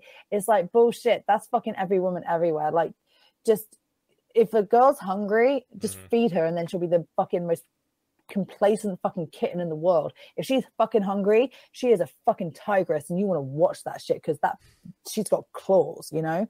And like, so her like being like, I'm hungry, I'm fucking hungry, and she's getting all like ravenous with it and shit, like literally, you know. Um, like, yeah, that is a mood because I've been there. Let me let me give people out there, especially the guys. This one's for the fellas. Mhm. Another pro date move. is after, I feel like this needs to be like Bo's corner, Yeah, Bo's right. dating corner. I need some music playing in a chair that I can turn around and sit backwards on. Yeah, yeah. I mean, you edit the show. Fucking put in some music. Yeah, I, I should. You Um, should. And anyway, I'm making a note of the time code. Sorry. Um, nice. so I can I can put in said music. Um, yeah. So in uh, my my advice for you is after you've been dating a little bit, you don't want to do this like second date, but after you've been dating for a couple of months, you know, and things are getting a little more serious. You know, you're starting to Yeah. s- not necessarily settle into a routine, but it's like, hey, if we're both off, we're probably going to do something. You know, that stage of a Yeah. relationship hmm find out even if you have to ask there's nothing there's no harm in asking what is your favorite food ask your your partner what her favorite food is Oh no, dude, that's way that I would say that's earlier on. but but here's the trick is learn how to make it But yeah, yeah, that's like three months in. yeah yeah. That- you that's what I'm want to buy saying. her that shit to begin with, but yeah, when you're three months in, you making that shit. right and so Mhm. if you're ever just hanging out because this is again a few months into a relationship where you might just be hanging out for a day you don't have any real specific plans Yeah, you're just enjoying each other's company. right just hanging Cool. out we're gonna Yeah, watch a little tv we're gonna you know go for a walk whatever it is nice. and and she's in a mood you know just like i had a shitty day at work just carrying some stuff with her you know talk to her mom and that pissed her off whatever it is Yeah, Be like- or the best one, she's on a period because this is Sure. a fucking gold mine if she's on a period. right and like you you because then you know what her mm. comfort food is and yeah. you have taken the time to make it on your own so this isn't Yeah. your first attempt Yeah, and, And- she'll appreciate that shit for sure. right and then you just be like hang on i'm gonna run the store real quick when i get back i'm gonna make you that shit you like Mm-hmm. Guaranteed head. gold Guaranteed head. Yeah. And yeah. I, mean the you're right, but also it totally changes the direction of the day Oh yeah, hundred percent. hmm because Yeah. a couple of things have happened there. One, you remembered what what food she liked. Two, Yep. you cared enough to learn how to make it right. Yep. Even even if it's 90%, even if it's 85, 85% right. Yeah. It doesn't matter. The effort's there. The thought is appreciated. Right. And Mhm. you you have shown her that you care. She got some food that she likes. Like you said, the next thing you know, hom hom hom. Yeah, although I would take a break, like a little bit of a gap, depending on what the food is, because if it's too dairy induced, it's going to be, wah, wah, wah, Yeah, yeah, yeah, yeah. you know. But, but yeah, but it, at some point down the road, that's going to pay Like if it's a milkshake, hmm like give it a couple of hours. Oh, for sure. something. You know, Yeah. if it's or Mhm. if it's real spicy, Oh yeah. you know, just like hey, yeah, you yeah, what? yeah, yeah, yeah. We're gonna wait for that that to fade some. But it's a it's a pro move. I, I've I've only done it a couple of times, but it it not, not it it doesn't only work. It is like you just you know you just had surprise fireworks in the backyard for her. You know, it's Yeah. just one of those things of like this this is hitting so many buttons and Mm. you know and but it's it's earnest you know because like you've taken the time you know not just Yeah. committing a thing to memory but learning how to do a thing that is is just for her not Yeah. your favorite food it's her favorite food and that's what's important Yeah, hundred percent. And cooking is such an intimate thing as well. You know, I feel like it is. Like, um, I have uh, a couple of friends who have been dating for a couple of months now, and one of their favorite things to do is is cook together. You know, and it's such an intimate thing. Like, I mean, it's different to what you're talking about because obviously it's it's all for the the other person.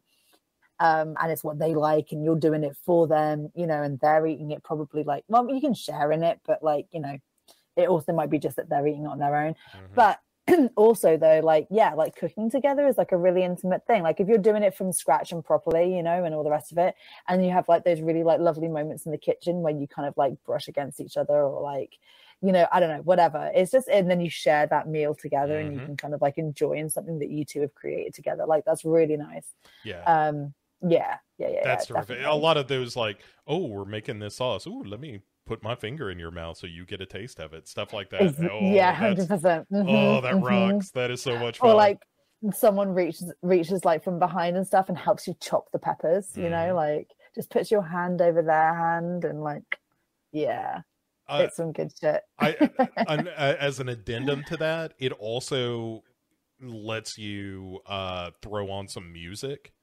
Yes. You know? Oh yeah, and maybe do a little bit of a dance in the Mhm. kitchen, like not in anything major, but just a little bit of a, like a little bit of a shimmy here and there, you know, between movements, Yep. between you know, going between the fridge and the sink and shit.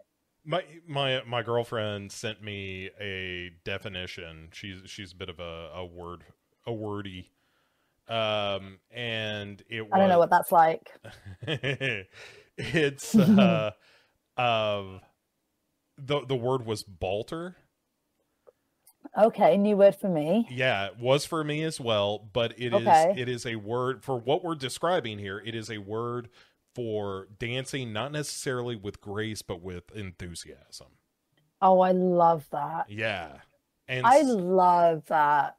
and so it has, and it's one of those things that's kind of become a thing of like, oh yeah, we'll you know as, as we're cooking, we'll balter, you know, fucking love that. right? It's good Yeah. shit.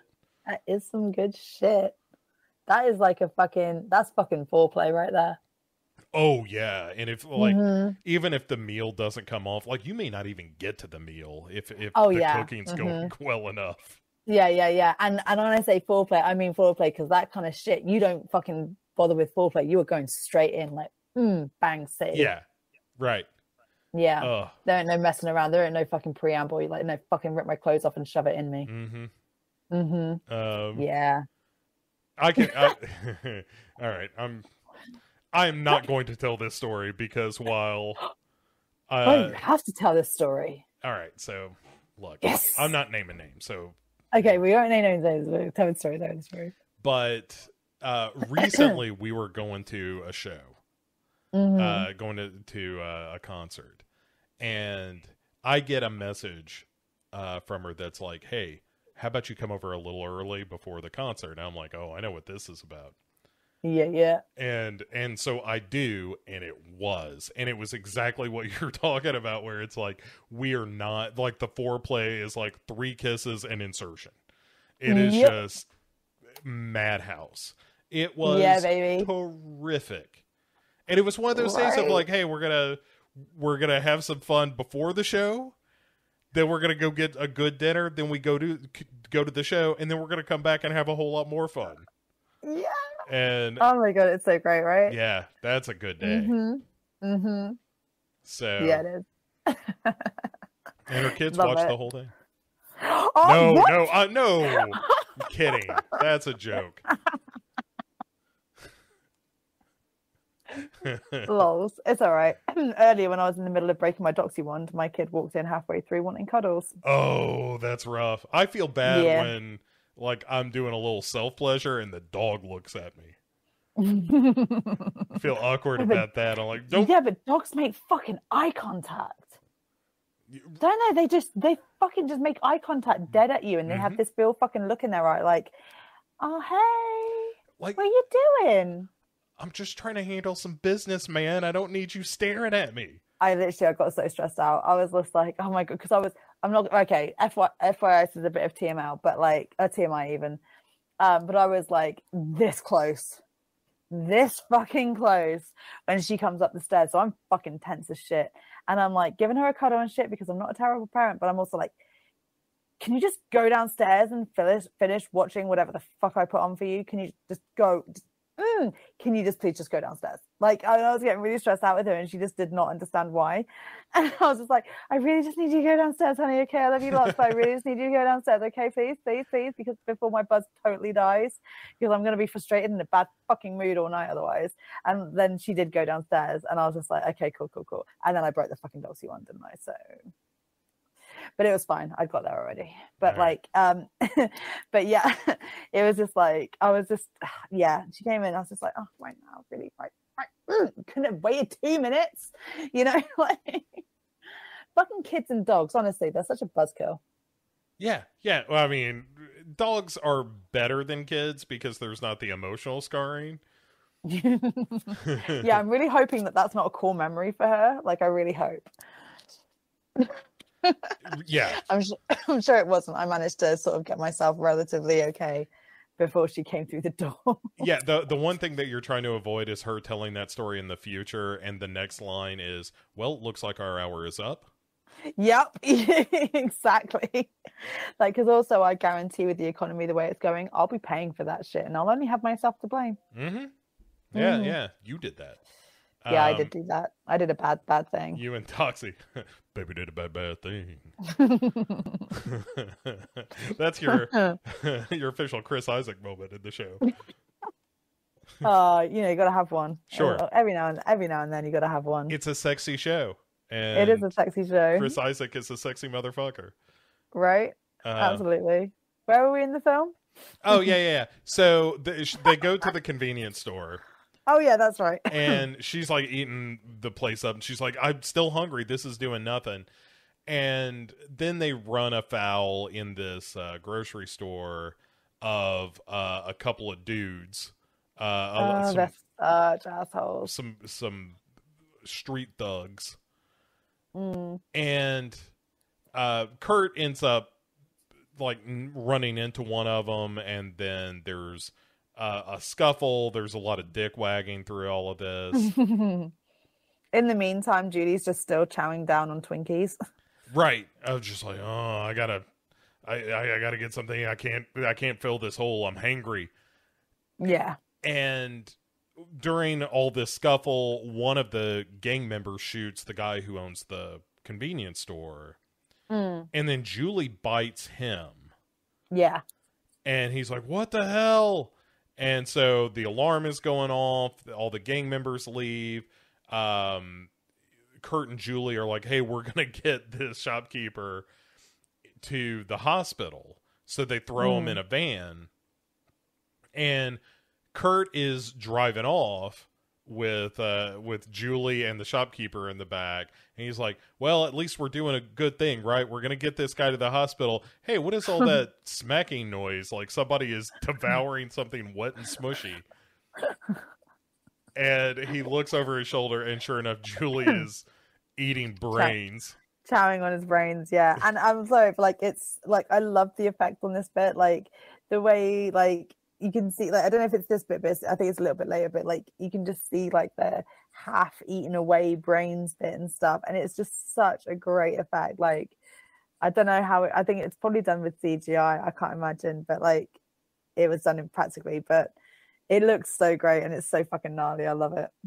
And then like when he's moving around later, when he sort of reanimates himself and he's like moving around and you just sort of see this like half eaten head. fucking great. yeah uh it's it's messy for sure It's so so, messy. All right, so the the gang is like, "Hey, we're gonna get even with Julie and Kurt, uh, because of the slight, you know, they bit their thumb at us, and and also, going back to Shakespeare. yeah, always, uh, you know, this show is nothing if not classy, Right? yeah. and Classy and British. right, Two things that I definitely am, both of those like together. I mean I'm one of those at least anyway. It's up to you to decide which one. and you were in a Midsummer Night's Dream, so that's I was. classy.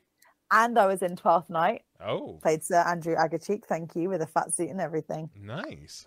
Ah yeah. I had a really bad date seeing uh, Twelfth Night one time. Oh, I'm sorry, dude. It wa- I hope it wasn't seeing my school play. it, no, it was not your production. okay. Okay, good. Uh, but yeah, so Julie and Kurt decide that they're going to hide in the sewers, Mhm. where they run into this guy who lives down there named the Riverman. Call me I love Riverman. him. I love him. I love everything, everything about him. He is this guy who has a lot of wisdom, uh, who lives in the sewers, and uh, what it, the the quarter is that what it is? His coin. Yeah, I think so. I mean, I'm not familiar with American currency, but sure. Yeah, I think that's right because he gives them uh the the riverman gives Kurt this coin and is like, you know, I'm helping you out and I'm gonna give you this coin and all I ask is that you you know you pay it for that you help somebody out and you give them this Yeah. coin because as long as this coin is out there circulating, I know that somebody's doing something good for somebody else. Yeah, it's so lovely. And he's also like, "Hey, what's going on with your lady friend?" Yeah.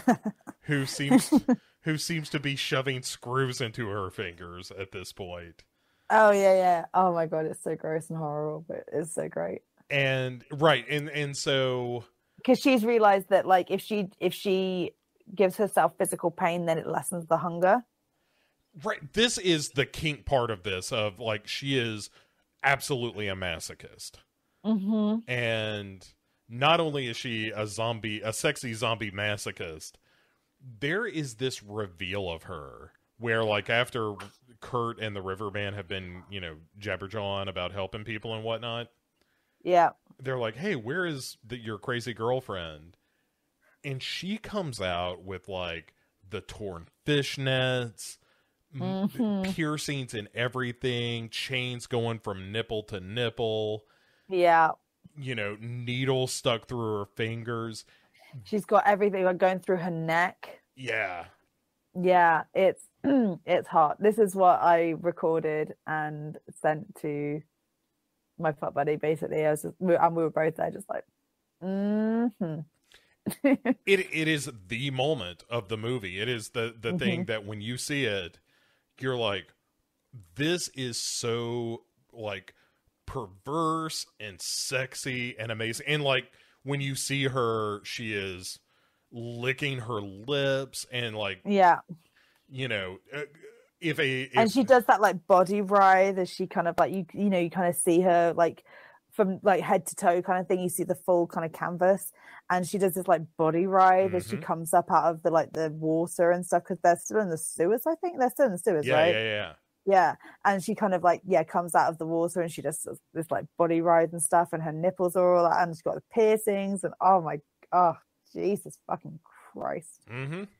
this is what you watch the movie for these like 10 seconds this is what you watch it for and Uh, it's right. so fucking worth it A hundred percent, and and like I said, this is the scene that if any any guy who saw this movie in their formative teen years or preteen years, it is that immediately like, shit. oh yeah, this is, you know, this is the videotape that I wore out, yeah yeah or or, 100%. or this section of the videotape, this yeah exactly everything else is fine and then it's right? white noise You know, I mean, obviously, doesn't hurt. Melinda Clarke is a beautiful woman, no doubt about it, but yeah just completely fetished up.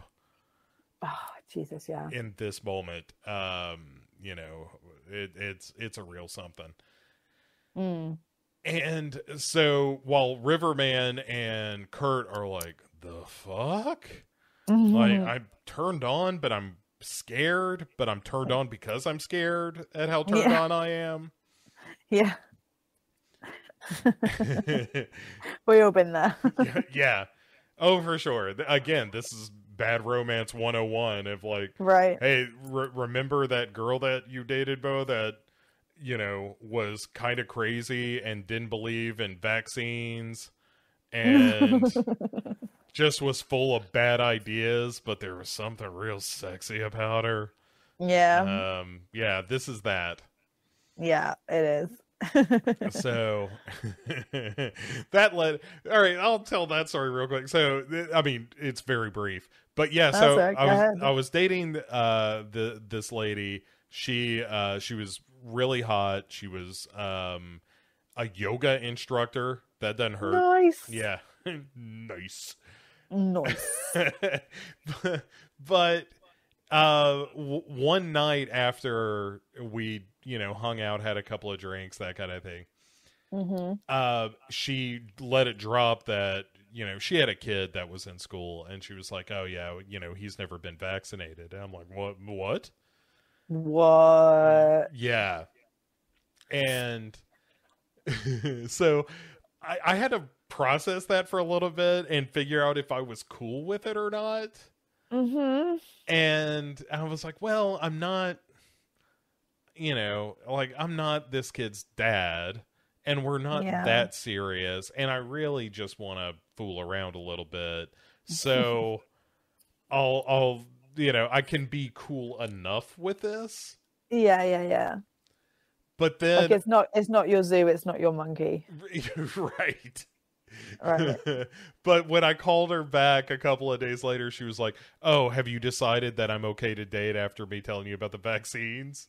Oh, oh, she, so she's aware. She, yeah, and I was like, "You know what? You're right. You talked me out of it.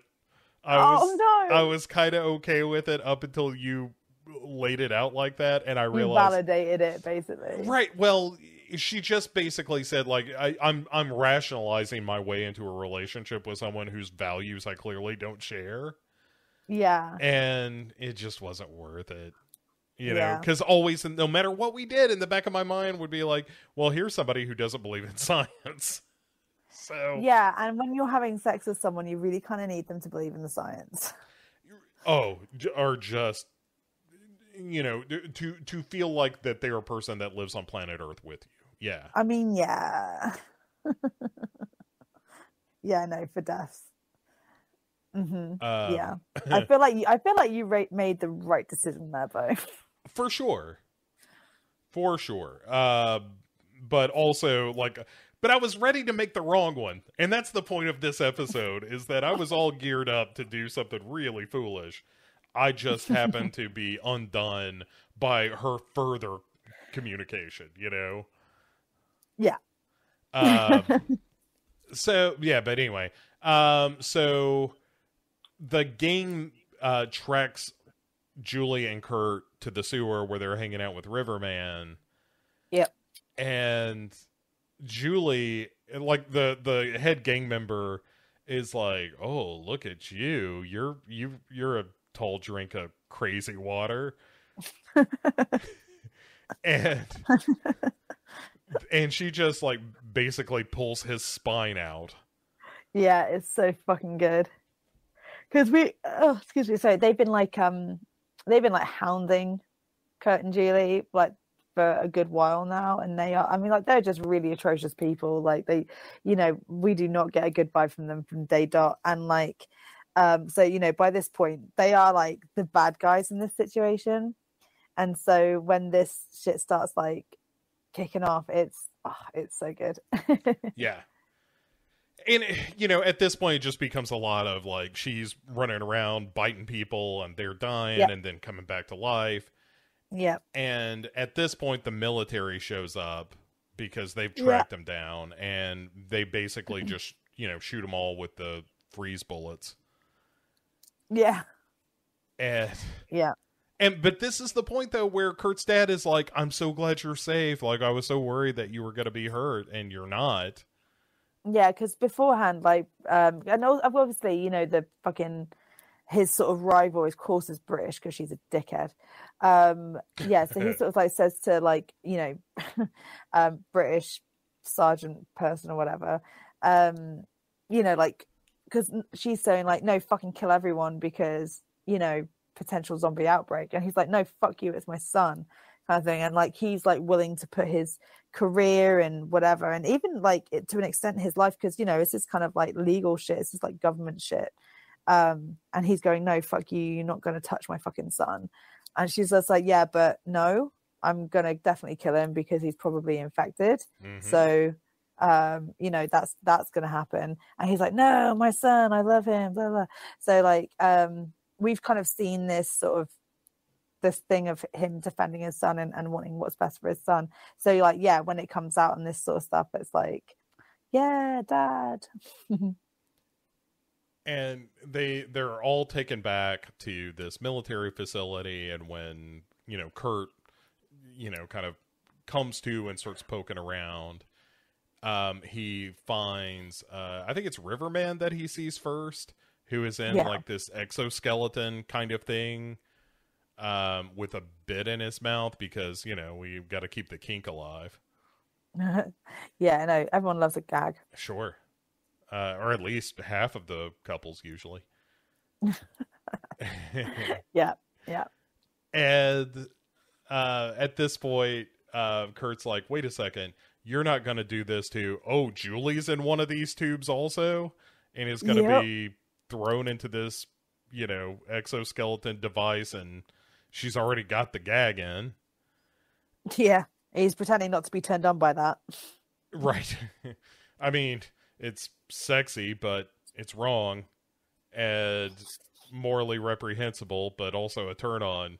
There's a lot of conflict in this film. Yeah, but Kurt like basically decides he's gonna uh, let all the zombies loose, which leads to a bunch of the soldiers getting bitten, and they're just zombies everywhere now. Riverman's attack and the gang member with a like a telescoping spine head is wandering around. uh, and Kurt's like, "We got to get out of here." He's like, "I can't leave Julie." Also, I got bit somewhere in all of this, Yeah. hmm and so the the kind of conclusion of the movie is the whole place is now on fire. It's gonna burn to the ground, and Kurt and Julie go to this big furnace.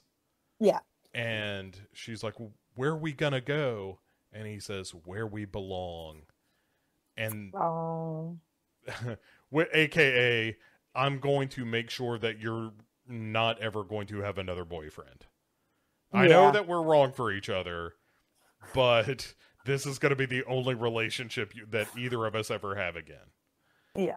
and yeah so they kiss one last time and then they burn alive and the whole place burns down and end of movie Yeah. It's all very tragic and dramatic and shit. yeah All very emo.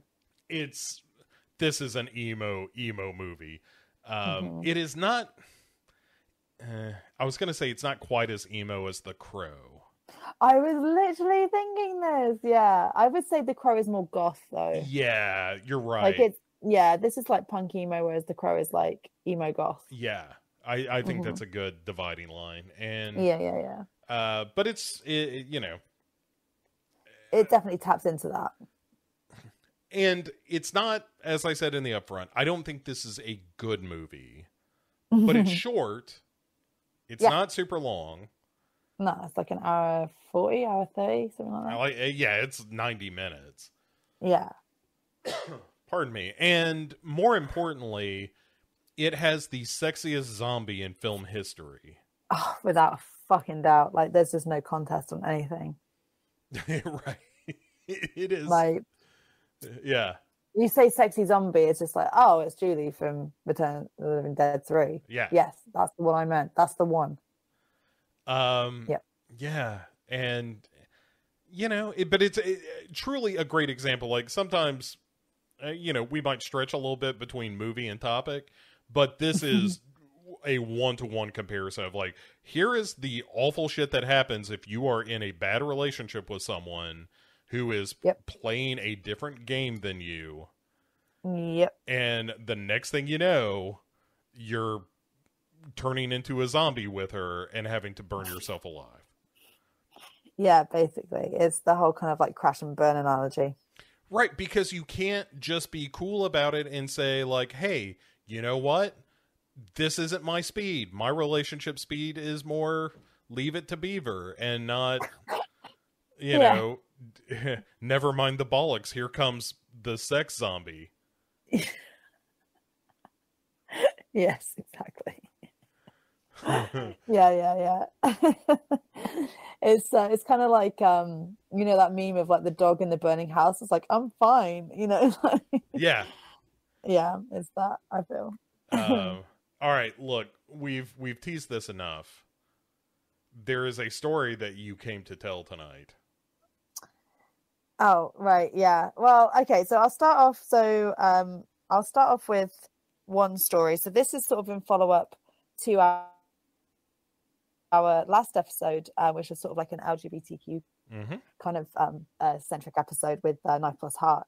And this was sent in by listener Sabrina Vorman, who is a dear friend of mine. Hi, Sabrina, and um, an avid lis- listener of the show. Um, and she wanted to send this in after listening to the last episode. So I'm going to read that out and then I will, I will tell the other story. Okay. Um, cool. So this is literally her words verbatim. So, so it was 2009, and I was having a coming out party because I realized I was bisexual. I'm actually pansexual, but at the time I didn't know the term. I had a bunch of friends over, and we were all crammed in the bedroom watching Jennifer's Body, classic bisexual rep film. Me and this girl, Brandy, snuck off to another room. We were making out. I'd made out with girls before, that was nothing new, but I really thought that we were going to take things further. So naturally, my hand started to make its way south, and she stopped and she said the words no one wants to hear. She said, I'm only into girls when I'm drunk. Oh. Yeah. Obviously, I respected her stopping us, but man, that stung.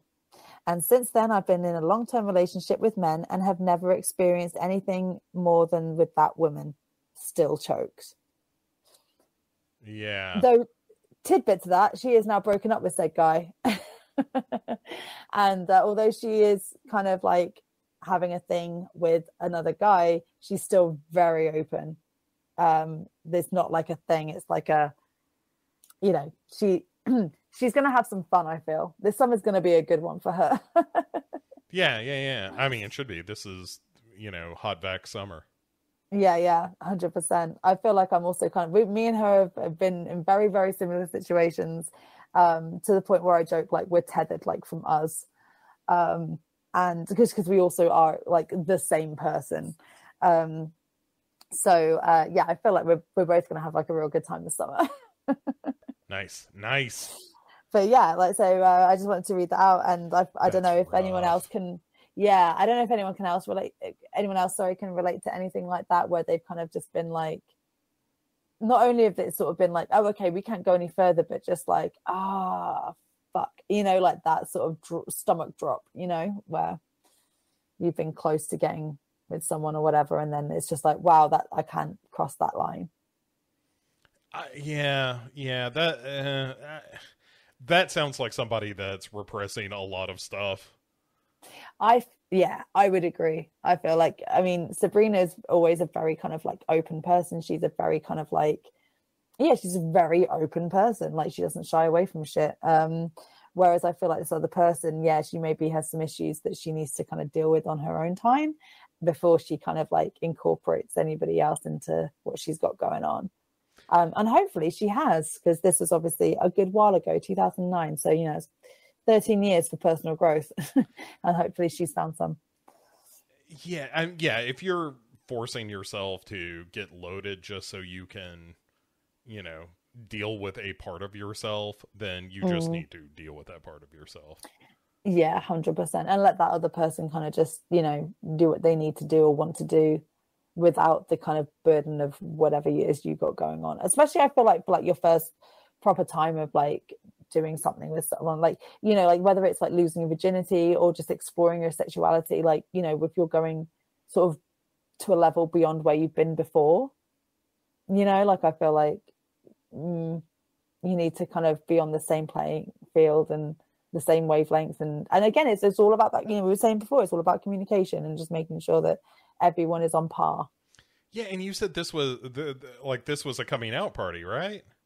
Well, yeah, exactly. That sucks even worse. Of like, hey, I'm I'm here to have a good time, and quite specifically to fool around with someone of of you know same my, gender, yeah, of my own gender, not or, a man, right? And yeah, it's pansexual. You know, you you base hot is hot. It doesn't really matter what gender you are, whether you're gender fluid, non-binary, trans, you know, female, male, she, they, he, they, whatever. You know, like hot is hot. So, but like you know, she like Sabrina had only uh, been with sort of cis males until that point, so she was kind of ready to float that boat in another direction.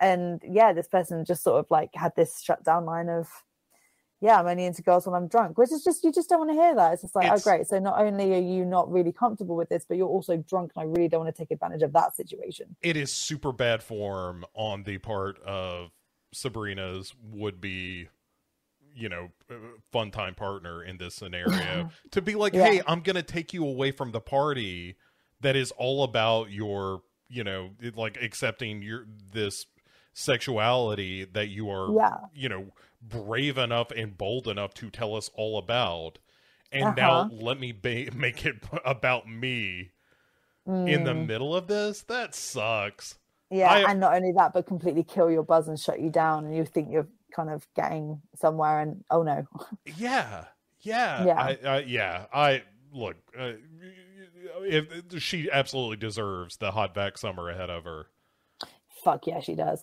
and like yeah it's um because again, like it's a very similar thing with me. Like I'm pansexual, but I've only ever really been with men. Like I've fooled around with girls, but nothing like too serious. And I've like I've been in a relationship my entire fucking adult life, and like now I'm just kind of like, cool, where'd that pussy at? You know? Mm-hmm. and if I was in this situation, I'd be fucking like, oh god damn it, you know, like Yeah. this is fucking so frustrating, and like you know, and and especially because like you know, so, as I say, this was a while ago, and um, Sabrina's 27, so like you know, this is 13 years ago. She'd have been what, like 14, 15, maybe, and like that would have been so kind of crushing as someone who's you know that young and uh, being open about it and as you say you know kind of having this whole coming out party and um you know and then and then having this like you know it's yeah it's rubbish so sabrina get yourself some pussy Mhm. well deserved long awaited fucking good ass pussy Yeah, yeah, and yeah and and everyone else who's wanting some fucking pussy in their lives and hasn't been able to have any for whatever fucking reason go get yourself some consenting pussy absolutely. And uh, Sabrina, if you see the spoil sport uh, in in your walking around time, you have every possible yeah, you have It's every possible. right to just smack her right in the face. don't, don't explain yourself. Just do it and walk away. yeah just like upside the head which is just the funniest um physical assault Yeah. to me Yeah, I mean, yeah, like it doesn't have to be one of those things where like you're you're not gonna send her to the hospital or nothing, but just no no just let her let her know that she did a fucked up thing. yeah like you done fucked up also um for anyone who doesn't know sabrina is fine and so this chick really missed out just saying Yeah, yeah. yeah. Talking about hot goth chicks. Oof. Hot goth chicks is sabrina. There uh, very few hotter things on earth than Yeah. a hot goth chick. yeah. And sabrina is up there for shoals. So um yeah. Uh, but uh yeah so cool. Thank you very much for sharing that story sabrina. Really really appreciate it. I think that's our thanks. first first listener story that's been sort of like kind of written in Yeah. specifically because of an episode kind of thing so that's cool thank you very much Yeah, thanks very much. yeah And Um, and and please let us know how the smacking goes. yeah um or like you know the lip smacking oh Oh Yeah. yeah. oh Oh, yeah. We, we- that you can just send pictures, and we will not share them on the show. They will just be for our, our private use. our, our personal wank Uh, bank yeah, exactly. Like we have shared with you the sexy zombie. Now, yeah return the favor how about a little something for you know, daddy? and mummy Yeah, and No, mommy, um, mommy and daddy rec- both need sex. right for the record uh, sabrina is one of my best friends and this is not as creepy as it's possibly sounding to some people hmm like it's fine. Me and her vibe like this all the time. It's totally fine. She'll find this hilarious. Um okay cool. So is everyone uh is everyone sat down and prepared to be completely fucking grossed out? Are we ready? Is this Let, yeah, let's do it. good? Okay so this is my oh god jesus. This is my second story. So um this is this is a story told by my good friend leash Mhm. um who is uh yeah she's a really good friend and um just it, it doesn't hold back with shit either um and they um they were telling me and, and a few of us were all out for drinks a, a week or two ago um and they were telling us about how they had this friend um who had hooked up with this guy and they had basically they'd been doing a bit of food kind of you know fetish play kind of thing you know Yeah. and um and i think that they they couldn't find any like lube or something um or they decided i can't remember exactly but they just or they decided that they wanted to use some mayonnaise as lube All right. Mm-hmm. So they um they use some mayonnaise as lube. Weird flex, but okay. Um, and then I don't know, like a day or two later, she's in class, right? She's in like she's like college, right? She's in a lecture, and she just starts coming, and she doesn't know why, but she just starts coming. oh wow. Yeah. And it's like repeat. She has to leave class. Are you sure it wasn't Miracle Whip? Well, so she um she just can't stop coming. She's just feeling all kinds of goodness inside. Turns out the mayo went sour, Uh-huh. and with the inner bacteria that vaginas have, maggots cultivated. What? Mhm. Yep. And so they're wriggling around in there, giving her a happy time that's not uh, not such a happy time. All right, how uh how Mhm. How sure are we that this actually happened? This sounds like something that oh somebody made no, up. a hun- no, no, no, no, a hundred percent. Like Leash would not lie about this shit. Like there's just yeah, and um, yeah, and it's like it's one of her best friends. Like they're not gonna, they're not gonna say this about their best friend if it's not true because they're just not they're just not that kind of person. They're not gonna start making stuff up. Like yeah, Okay. and right. I just I had to put my fingers in my ears and just la la la la la la la. I don't want to hear it. And um, yeah, uh, yeah, because they basically just mm-hmm, came over maggots. Okay, so follow up question, which you may or may Mhm. not have the answer to. hmm That I is- probably don't. I did not want to know any more information. yeah, it, it- that's but go ahead. Uh-huh. Um, did she immediately go to the hospital? I mean, I don't know, but I would imagine so. Yeah, yeah, yeah. I would imagine so. All right, because that is honestly the part of the story that I want to hear.